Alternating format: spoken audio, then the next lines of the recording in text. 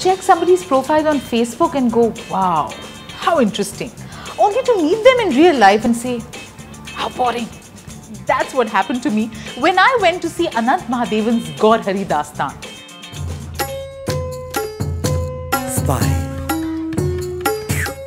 Freedom fighters की pension बढ़ने के बाद एप्लीकेंट्स की गिनती 16,000 से बढ़कर तिरपन हो गई है धंधा बन गया ये Uh, the trailer was so good and the concept so interesting.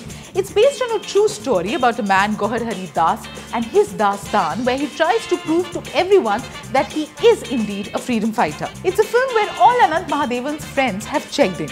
There is Vinay Pathak as Gohar Hari Das, his wife, played by Konkana Sen Sharma, Ranveer Shori is the journalist, and his colleague Tanishtha. It's unbelievable how bad Vinay Pathak is in the whole film.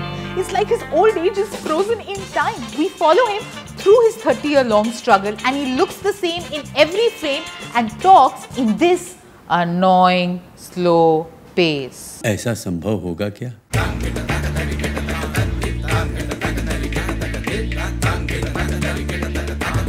The only one who's at least trying is Konkana Sen Sharma and I personally felt very bad for her because nobody else has any clue about what's going on in the film. जाइए जाइए आप लोग जाइए building में सब कहने लगे कि आप पागल हो गए। You know when I saw the trailer I thought it's an arty kind of film so you know you are supposed to feel bad about the struggles of Gaur Haridas but you feel nothing आप इतने साल कैसे लड़ सकते हैं?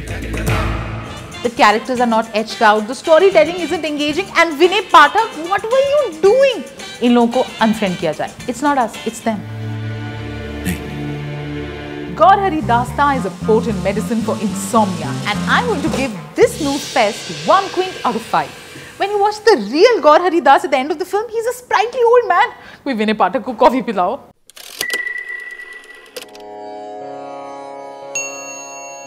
नहीं मैंने कोई गलत हरकत नहीं करी मैं माँ हूँ माँ अपने बच्चों को प्यार करती है तो वो अश्लील हरकत होती है मेरे बच्चे मेरे भक्त मेरे को बहुत प्यार करते हैं वो सब्सक्राइब करते हैं I am pure and pious so are they